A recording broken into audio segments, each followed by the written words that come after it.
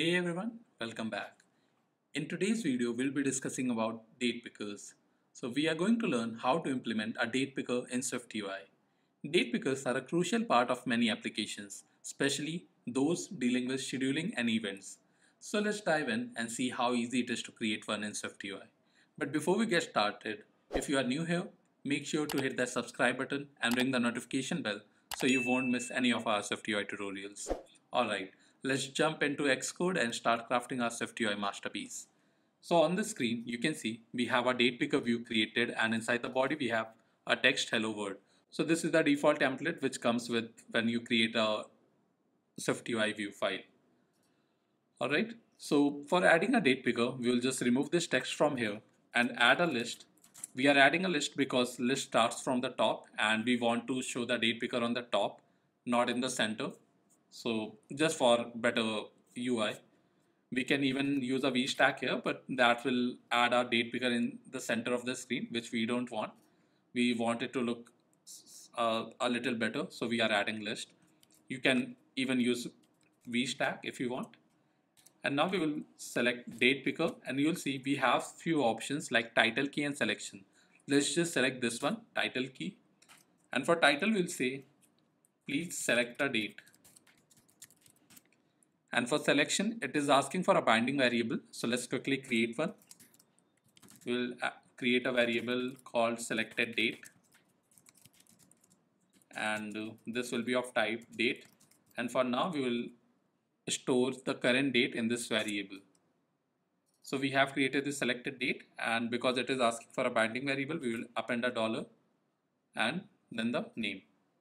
So whenever user selects a date, this selected date variable will get updated and the date that is selected by the user will get stored in this variable. Alright, so in the right hand side you can see we have please select a date title which we passed here as well as a date picker with date and time value. And once we tap on this date, you'll see a nice date picker has opened in a pop-up and we can select any date from here. We also have this small arrow here if we click on this, it will open a year and month picker and we can click here again to select a date.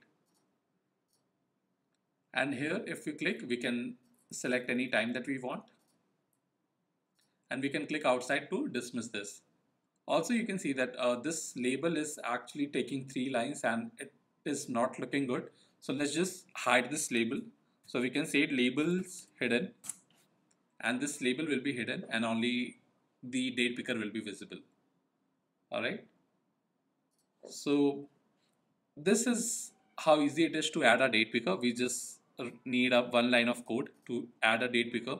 And whatever value that we are selecting is already getting stored inside this variable.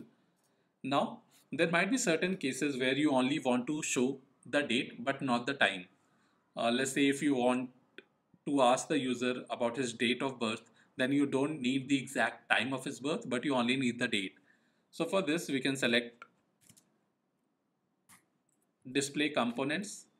And here we can say it has two options, date and another is hour and minute.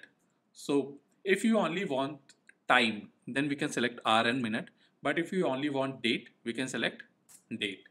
So currently we only want date. So we selected date and only this date component will be visible and you can click here and choose any date that you want. Also, there's one more parameter that I wanted to discuss, which is range. So let's say you are booking an application where you want to book an appointment. So whenever you want to book an appointment, you want it for a future date, right? Unless you are a time traveler. So, and I know you are not. So you want to book the appointment for a future date and you don't want the user to select any past days. So for this, we can select this in parameter and inside this we need to provide a close range. So in this close range, we want to say that we want to accept any dates from the future but not from the past. So here we can say date dot now. So any date from now and any date from future is fine. So Swift has a nice way of specifying the range where you can select uh, set the initial value. And if you don't have anything after the three dots it means that you will accept any value from the future. But you won't accept any value from the past. For the past we have assigned that we want date dot now. And for the future we haven't specified anything. That means that we are saying that any value from the future is acceptable. Okay similarly if we had these three dots before this date dot now it would mean that any past values are acceptable but we are not accepting any value from the future. All right and this is giving us an error. Argument must okay so it wants this in parameter to be preceding this display components. So let's just quickly fix it. All right so currently we have uh, set this to accept the past values. Let's see how does it looks. So you can see that all the future values are unclickable and all the past values are selectable. But we want the opposite so we'll append these three dots this side. And now all the future values can be accepted for taking the booking so now let's say we only want to allow user to select date from today until three months from now on. So for this let's create our future date.